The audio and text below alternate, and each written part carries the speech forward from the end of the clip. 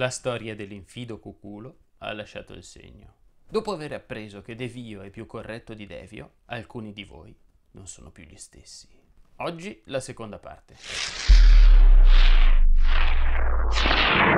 Persuadere? Madonna, si dice infido, non infido. Molti di voi mi hanno chiesto se è meglio le cornia o le cornia, Alcantara o Alcantara. Quindi sono stato obbligato non senza un certo piacere, a prolungare la saga dell'infido cuculo. Che dite?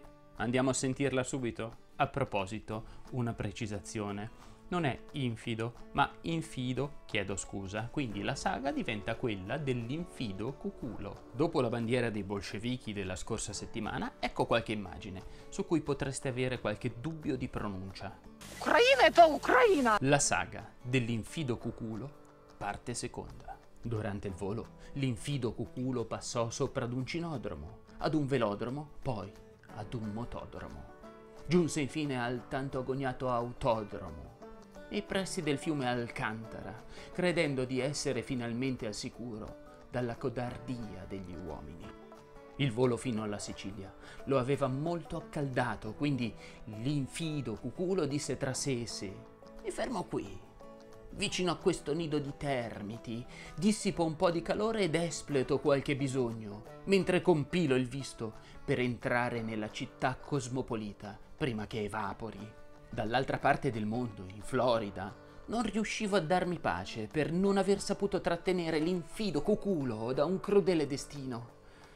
Camminavo avanti e indietro nel cantiere edile quando, in mezzo ai boccioli, intravidi una bellezza molievere della quale dopo una buona centrifuga sarei diventato marito. Leggeva Salgari. Mi rivolsi a lei.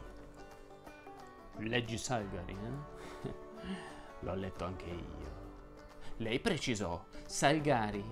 Si dice Salgari.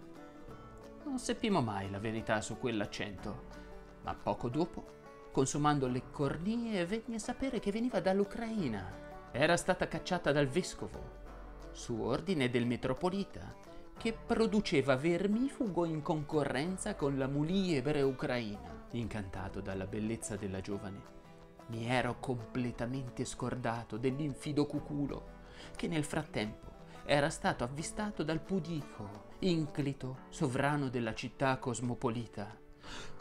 Mio Dio! disse il sovrano, la profezia si sta avverando. Bisognava assolutamente impedire che l'infido cuculo entrasse nella città cosmopolita.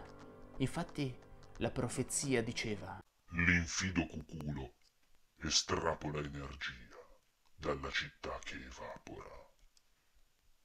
Vorrei persuadere tutti voi ad andare sul canale a vedere i video che riporto in questa appendice. Vi istigo a darmi nei commenti alcuni suggerimenti. Ditemi i vostri dubbi mentre andate a pesca mangiando una buona pesca.